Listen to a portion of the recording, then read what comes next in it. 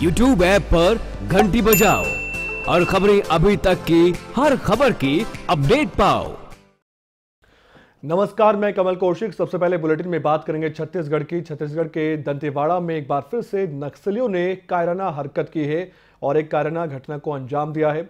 दंतेवाड़ा के चोलनार के जंगलों में नक्सलियों के आईडी ब्लास्ट करने का एक मामला सामने आया, जहाँ पर छह जवान शहीद हुए हैं और एक जवान घायल बताया गया है। उसकी हालत फ़िलहाल बेहद गंभीर बताई गई है। घायल जवान को उपचार के लिए जिला अस्पताल ले जाया गया और ये सभी जवान जिला पुलिस बल के बताए गए हैं। और साथ ही जानकारी ये भी मिल पा रही है कि ये जवान निजी गाड़ी में सवार थे। उनके मूवमेंट की सूचना नक्सलियों को काफ़ी पहले से ही मिल चुकी थी। जैसे ही ये गाड़ी उनके टारगेट में आई, नक्सलियों ने आईडी विस्फोट कर दिया। नक्सलियों ने जवानों के पास से उनके मोबाइल, वायरलेस सेट समेत पाँच इंसास राइफल्स जो है, और इसके अलावा दो ए के फोर्टी सेवन राइफल भी लूट ली है।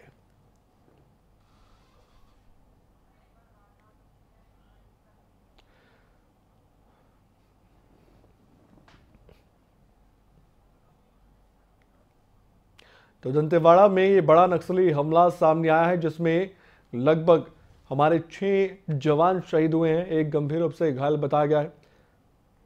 आपको बता दें कि इस तरह से जो राइफल्स थी, जवानों के पास दो ए के फोर्टी सेवन वो भी लूट ली गई है नक्सलियों के द्वारा।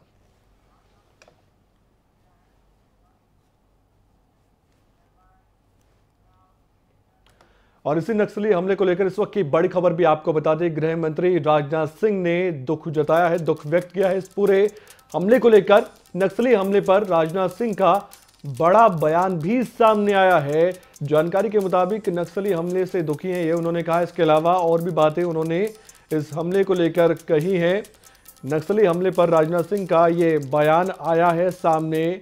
और ये जो तस्वीरें अगर आपको दिखाएँ, जो सामने आई हैं, इस हमले के बाद काफ़ी दुखद ये हमला है। नक्सली हमले इन क्षेत्रों में लगातार होते गए हैं और इन पर लगाम लगाने के लिए कई कोशिशें भी की जा रही है, लेकिन समय दर समय इस तरह की घटनाएँ सामने आती हैं जो काफ़ी झकझोर कर रख देती हैं। हमारे देश को भी।